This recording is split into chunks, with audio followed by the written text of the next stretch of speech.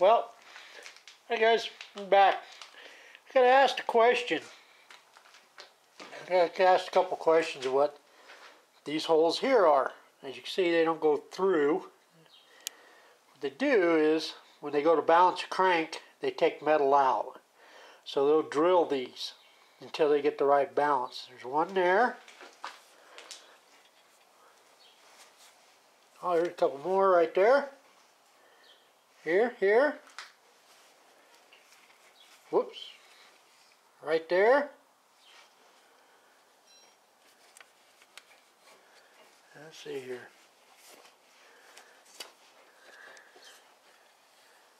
Doesn't look like we got any there.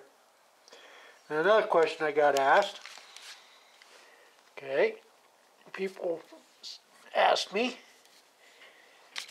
what are these holes? Well, that's a good question. It's actually a real important part of the engine. That allows the oil to get to the bearings. On the rod caps, you got bearings on the rods. Well, you got to keep those lubricated. It just doesn't sit there and ride in a puddle of oil.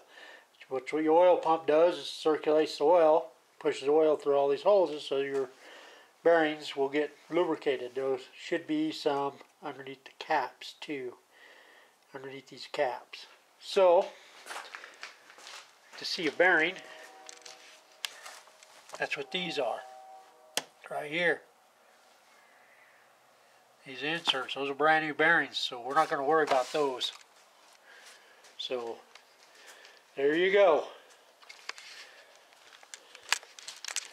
And uh, hey guys, I am going to be putting this on YouTube, so if you would, subscribe, okay? Because I plan on doing a few more little interesting things. Like I got my model, my bucket T I want to do. Eventually I want to take one of these engines. I want to put it in a 65 or a 66 Ford pickup. I think that'd be badass. And eventually build a rat rod. So, here we are. I'll talk to you in a little while.